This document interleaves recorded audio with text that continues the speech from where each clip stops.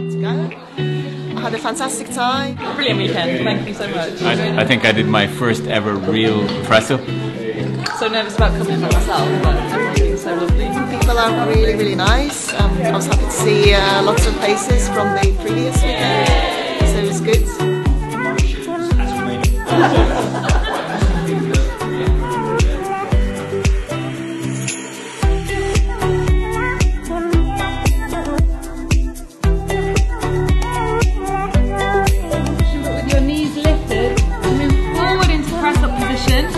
Take it down, press back up, and then move back. Keep your body nice and tall, keep the spine nice and long. We're reaching forward. You might end up kind of reaching towards your knee. You don't know how strong you are until being strong is the only choice that you have.